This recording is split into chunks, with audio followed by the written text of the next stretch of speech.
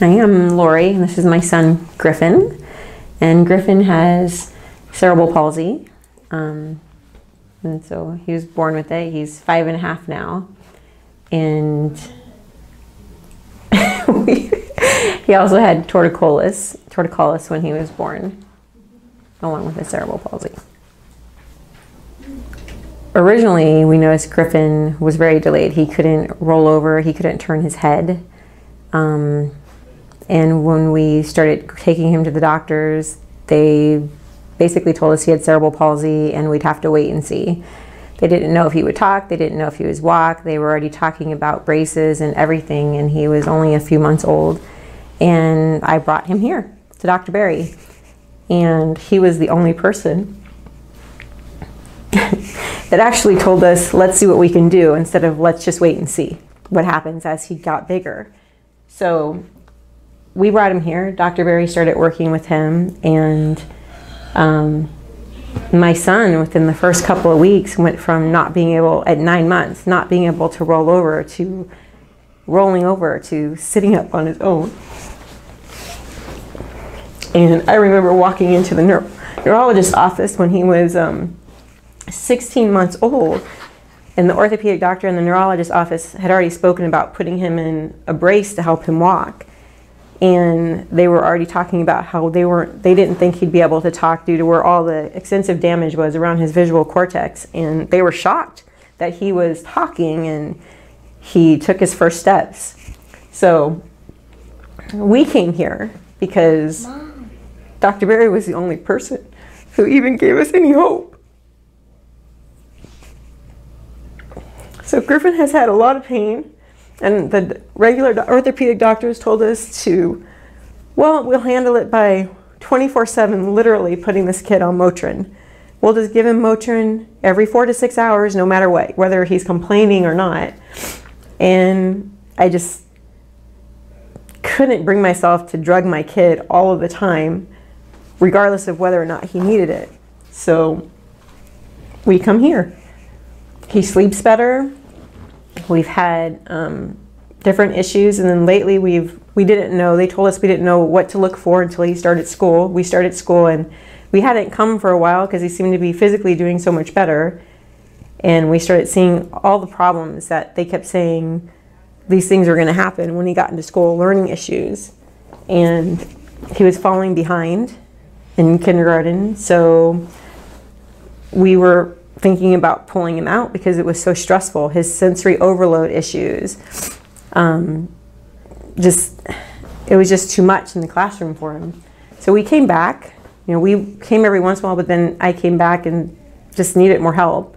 And just the few suggestions that have already, Dr. Berry's already asked for the um, diet-wise and with the school and the little exercises that we're doing at home, his teacher is telling me it's like a light switch has been flipped for this kid. So his world is it's improving and it's changing where our neurologist, our orthopedic doctor, our pediatrician, they're just like, well, we'll just see how he does. The developmental pediatrics department with PCH, all of these doctors, this kid has probably eight, nine doctors, and every single one, with the exception of Dr. Berry, has said, let's wait and see.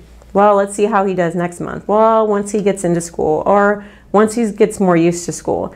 And I don't think telling people not to have any hope, just to sit back and saying, well, let's see, is an answer. This is not traditional. My his doctors are like, why are you going there? But from his teacher to the director at his school, my son was running away at school. He was a flight risk.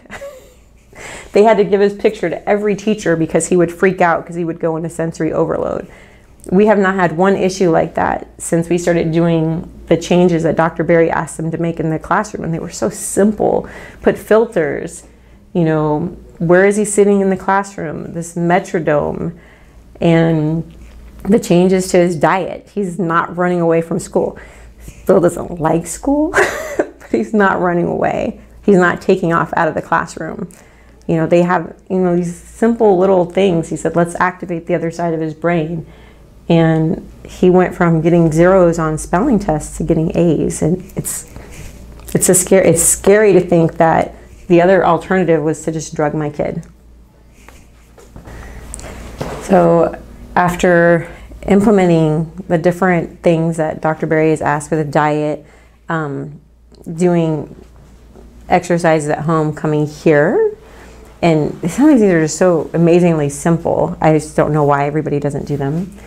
We've seen an improvement in Griffin's sleeping habits.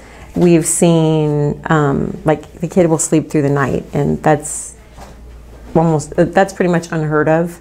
He this is a kid who would get up four or five times at night crying that he was hurting or just crazy things.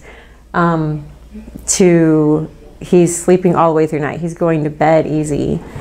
He has with these simple changes, he's coming to us saying, Hey, mom, let's do our thumb exercise. And, you know, just the amazing results. Like, he looks forward to coming and seeing Dr. Berry Murphy. and um, just to seeing what's new. And now it's like, gosh, you know, I can take my kid places and we can handle it. You know, it may not be perfect and it may not be easy as it is with one of my other kids or someone else's kid, but I think that he's getting, he's not coping as much. He's actually living.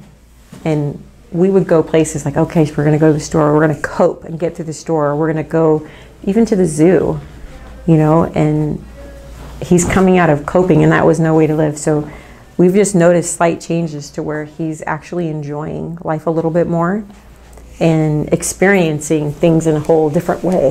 Whereas before, I think he would go into kind of an overload, and now he's he's enjoying it. So it's not. He, I don't think it's a, life is as stressful for him. I think he has he's getting skills that to help him manage, and we are too because we're like, all right, Griffin's in overload. Dr. Bray said, let's get up in March. We're gonna get up in March. And I don't care if I'm in the middle of a movie theater. We'll go stand on the side and we'll march, and then it's like we're good.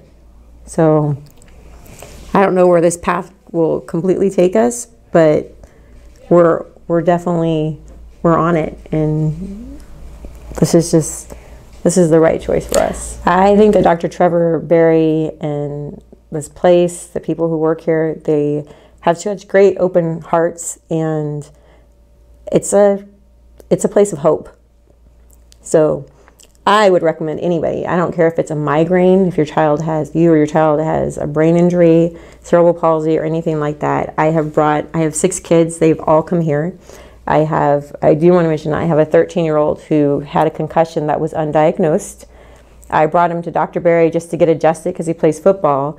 And Dr. Berry, I thought my kid was rolling his eyes because he was, you know, turning into a horrible 13 year old teenager. And instead, he actually had had a concussion and there was a problem. And Dr. Berry saw it. He started treating him for it and something that the doctors thought maybe his eyes were just dry. That's why he kept rolling his eyes. And my son went from in football constantly getting tackled, finding out that he was technically going blind for a couple of seconds. Things like that. Griffin, he's helped my kids with reflux. so ear infections, everything. And we've been able to step away from so much modern medicine and give them such more healthier lifestyles and bodies. It's um, amazing. I can't imagine why people wouldn't go to the chiropractor, especially not a neurological chiropractor where he's looking at so much more than just how are your joints feeling today. So it's so much more than that. Dr. Baby. well, um, Are you done? My mom, um, is really thankful. She loves me, and um,